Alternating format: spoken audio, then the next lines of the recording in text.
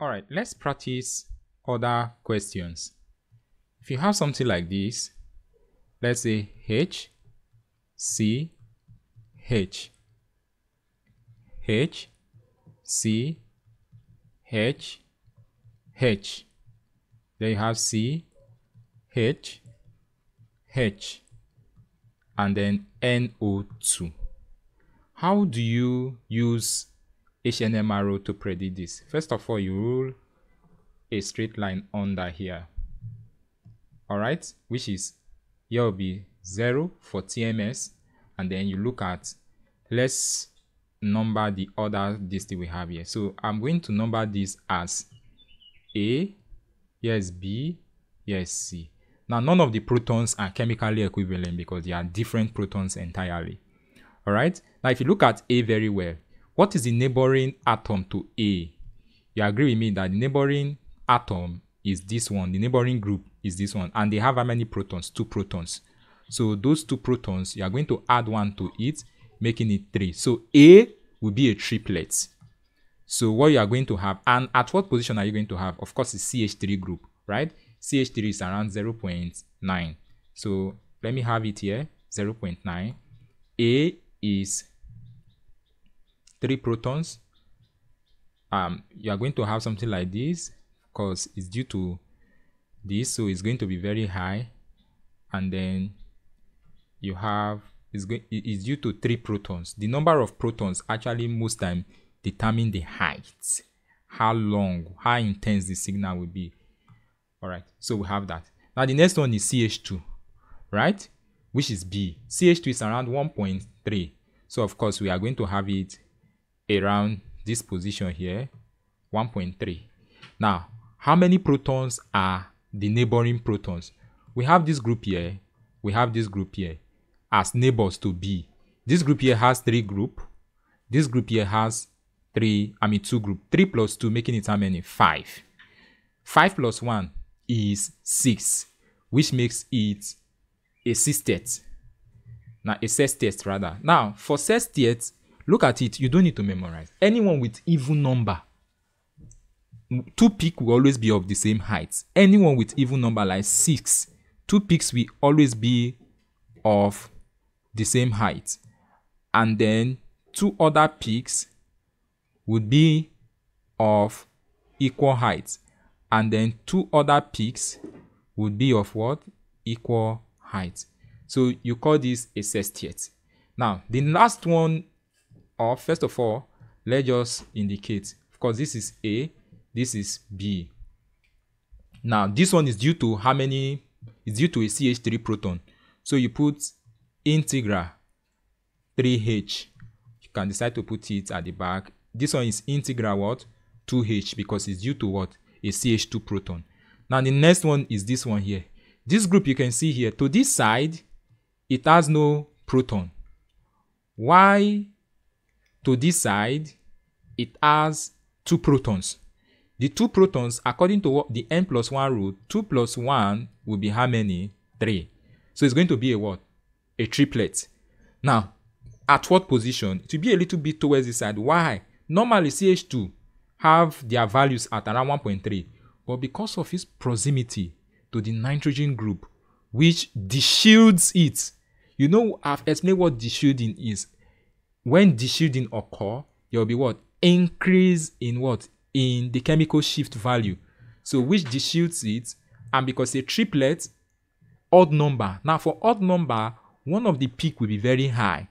I mean, one of the peak would be high. They will be almost the same height with this one because they are CH2, CH2. So their height will always be the same. So you are going to have something like this. Are you getting it? And then you are going to have two others surrounding it, making it a triplet. So for odd number, you usually have one peak higher than all the peaks. While for even number, you have two peaks higher than all the peaks. Is that okay? So that is that. Now, that is the value for this particular one you have here. So what we are going to have is um, is due to two protons. So you have 2H, which is of course C. So this is the correct NMRO structure for this compound.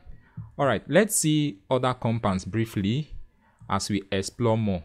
You have Cl, then you have C, H, here is Cl, then you have C, H, here is B arrow, here is B arrow. Now, the first thing we have to do is to draw a this thing like this, a straight line. And then after that, we are going to have the zero point. The chemical shift value will be towards this side. Why? Because you have B highly electronegative. So you'll be expecting it at around 3.5. But because there are two Br here, you'll be expecting it higher than 3.5, around 5 point something. Alright? Now, you don't need to give the exact value in the exam. I know this is our fear. You just need to uh, estimate. You know, normally you could know these values in your head 3.5. Okay? But because you have two, this one here, just add 1.5 to it. Let this one be around 5. Now, these two, are they in the same chemical environment? No, because this is bromine with hydrogen, this is chlorine with hydrogen. Are you getting it? They are in different chemical environment, the two protons. Are you getting it now? So that at the end of the day, what we are going to have, the first one you have here, which is, let me name this as uh, A, and here is what? B. Now, the first one you are going to have is this proton here, which is carbon, this first carbon here. The neighbor has one proton attached to it. By n plus 1 row to be 1 plus 1, which is equals to what? 2. Now for 2, told you that this will be 5.0. 2 is a doublet. So you are going to have two equal heights. Alright? Two equal heights. Now, for the other one is uh, chlorine, that of chlorine. The neighboring carbon 2 have one proton, which is also 1 plus 1, which is a doublet. Now, each of them are due to 1 1 proton. So the height, chlorine is more electronegative than bromine. So you should expect that of chlorine to be somewhere around 5.5. Are you getting it? Because it's highly electronegative as compared to bromine. The more electronegative it is, the more it's shifting downfield. This side is downfield, here is what? Upfield. Now, because they are due to 1 1 proton, their height will be what? The same. So you are going to have this one here. The height of this, alright, will be the same as the height of this. Why? Because they are due to 1 1 proton each. Alright? So the height of this will be the same with the height of this, as you can see. So that is that. Now let's see another case sharply where you have this bromine, one of the bromine here, substituted with hydrogen. Now in this case now, it means our A, which is this compound A, the neighboring atom still have one proton. The neighboring carbon still have one proton. So it's still going to show as a doublet, which is what you can see here due to hydrogen here, which is A. It's still going to show as a doublet. And the chemical shift value will decrease a little because one of the bromine has been removed. So it will be around, let's say 4.0 or even though 3.5 cannot be 3.5 because this carbon you also carry chlorine. Let's put it at 4.0. Now, but when you now come here, listen oh, to uh, when you now want to draw for that of B, the next neighbor for B has two protons now. Because when you are considering this one, you now look at this one to know the multiplicity. The next neighbor for B carry two protons. And by right, 2 plus 1 will give us what? 3, which is a triplet. Now for triplet, what did I tell you? Triplet is odd. So you are going to see one of these signal that is higher than every other one. For odd number, you see one signal higher. For even number, you see two signals higher than every other one, but of equal height. So for this odd number, and because it is due to, uh, for that of B, it's actually due to uh, one proton are you getting it? Is due to one proton. So you are going to have something like this all right due to one proton you're going to have something like this and of course you are going to have it's a triplet. So you are going to have something like this. So this is due to one proton. Now you see that the height of this is a little bit lower than the height of this one. So this is going to give us the multiplicity will be something like this. How many protons actually cause this one? Okay no. This one is caused by two proton so this one is caused by two proton which is 2h why this one is caused by one proton which is 1h because you're actually drawing for this proton b which is that. So that's basically how to go about something like that. Is that okay? Now how about the situation where these two group here we remove them and substitute them with hydrogens? So here is hydrogen here is hydrogen what do you think the signals will be? How many signals are you going to see first? Of course you are going to see two signals. All right? You are going to see two signals. Of course at what position will they be?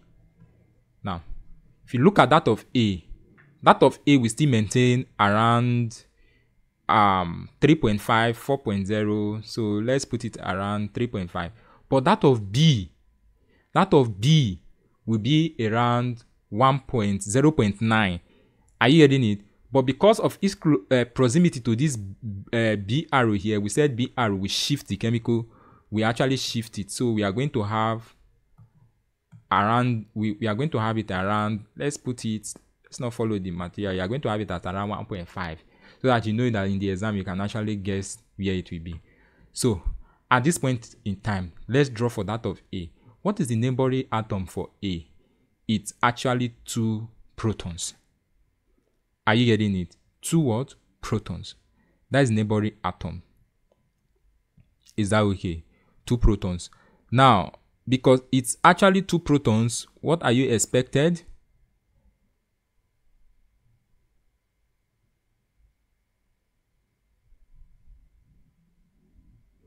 Alright, you are going to have two protons. Now, as neighboring, 2 plus 1 will give us what? 3. So we are expected to have a triplet which of course will go very high because it's due to these three hydrogens. So you are going to have a triplet is something like this. And then this one is for B, right? This one we just drew now is for B in this case now. So we say this is B. Now it's due to three protons. So you are going to have it as 3H. Now, how about that of A, which is this? How many these things are adjacent to it? you have four, I mean three protons adjacent to it. So by right, it will be 3 plus 1, making it what? 4. So it's going to be a quartet. And the quartet will be around 3.5. Do you know why? Because this group here is directly attached to what? To bromine. So we should be expecting a shift to around 3.5. So you are going to have something like this. And because it's two protons you don't expect it two protons like this. You don't expect the peak to be as tall as this one.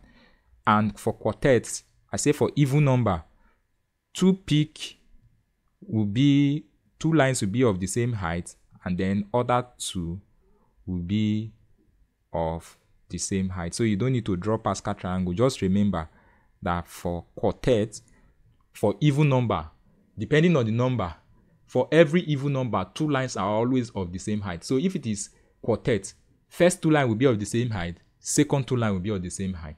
If it is an odd number, like triplet, one of the line will be longer, while the other ones will just follow suit like that. Is that okay? So that is basically that for this. All right, let's see for esters